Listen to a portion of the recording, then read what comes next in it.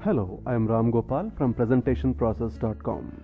In this edition of PowerPoint SmartArt tutorial series, you will learn a few things you didn't know about SmartArt table list, one of the most commonly used diagrams in SmartArt.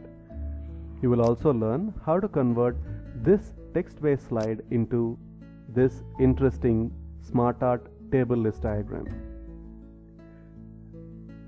Table list is probably one of the most commonly used diagrams in SmartArt because it is extremely versatile and it can be used either on a slide like this or it can also be included as part of a Word document.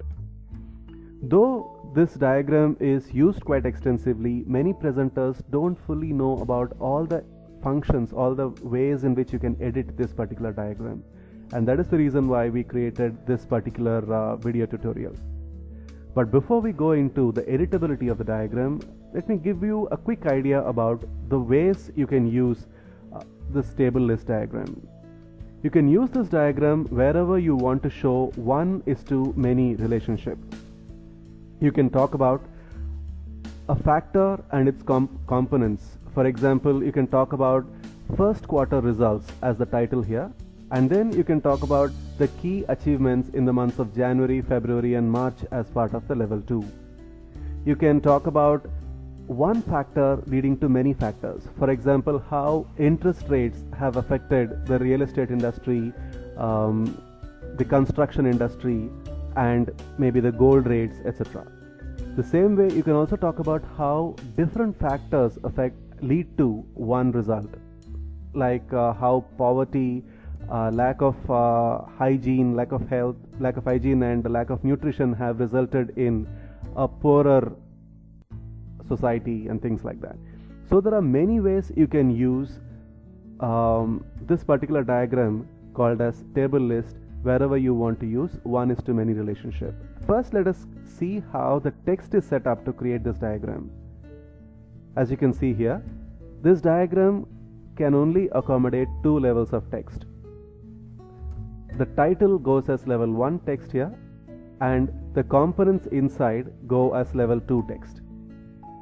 And usually you use the diagram where the level 2 are all of equal value. You don't usually differentiate uh, the values here.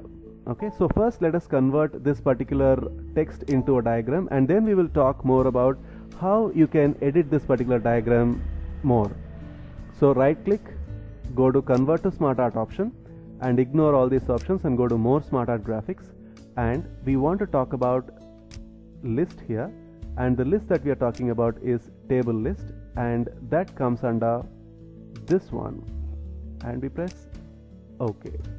And as soon as I do this the level 1 goes as title and the components go as level 2 now I can add my own color themes here. Maybe I am going to use this color theme. And I can also apply different smart art styles. And you can see how these uh, various styles will look once applied here in this particular place. So this is what the smart art style that I'm going to use. And it is called as uh, inset. Fine. Now let us talk about the editability of this particular diagram. The first thing is it is one of those SmartArt diagrams where there is no limit to the number of level 2 text you can have. For example, if I want to add another shape here, I can enter another uh, bullet point here and it will automatically accommodate and I can keep on adding. The only limitation is the readability of the text here. So otherwise there is no limit to the number of uh, shapes that you can add to this table list diagram. The second thing is if you were to think about how this text is arranged, if you add, if you want to add another I mean sub bullet points here as part of the group, you can do that by adding another level here. For example, I want to add another level here and that goes in as the points here inside. Okay, so whenever you add third level that goes in as a sub bullet point inside the second level. So that is one thing that I want you to note. First let us uh, delete this one and let us go back to the regular one. The next thing is you can always interchange the position of these by going to move up or move down. For example, I want to move this up, so I'm going to use move up and you can see that this one has come as the first option and this one has come as the second option and if I wanted to go back again I go to move down and this can be interchanged. The same way you can have the first box and the last box exchanged by going to the right to left option. Another thing is if you want to use this promote or demote functions, uh, let us understand how it works. Now if I were to use this particular one called as demote function, this text goes as one of the sub bullets for this particular box. So let me do that demote. And you can see here the first box now becomes the main body content and the second box content has gone into this as sub bullets and then let us uh, go back to the situation again. And whenever I use a particular text as promote then this becomes level 1 text and everything else gets wiped out. For example I do this and you can have I think there's some issue here. Maybe let me try this again. Yeah so I cannot use that on the previous one. I just have to make sure that the next box is to be selected and the previous one becomes the level 1 text and go on. I, since this is a function that you hardly use I think it is uh, not really worth noting. So these are the various ways in which you can edit this particular uh, diagram generally one is to many relationships are very commonly used in business presentations. As a business presenter, you would like to use options which are not so commonly used like this particular smart art because this diagram is used so much that it has become kind of very cliched uh, in any business presentation. I wish to show you some example templates taken from our PowerPoint CEO packs volume 1 and 2 that show the same one is to many relationship but in a, in a far more engaging and visually interesting manner. This is one such example, one leading to many relationship and you can see here how one factor is leading to many. And of course you can always copy this and add more factors. It's completely editable.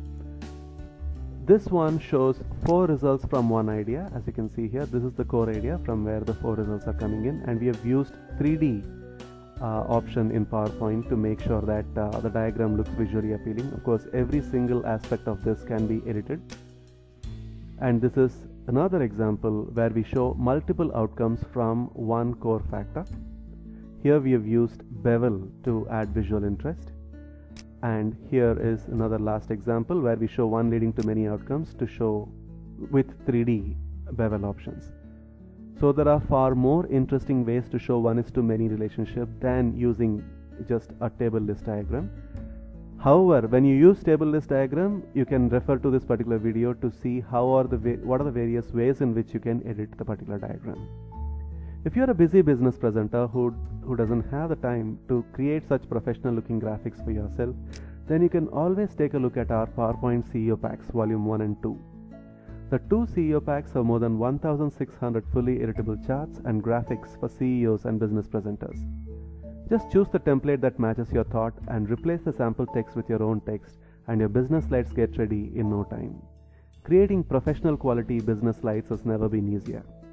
Hope you liked our tutorial. If you want to learn more such tutorials, please visit us at presentationprocess.com. There are tons of useful articles, videos, and tutorials to help you improve your presentation skills and PowerPoint skills. Thanks a lot for watching the video and happy presenting.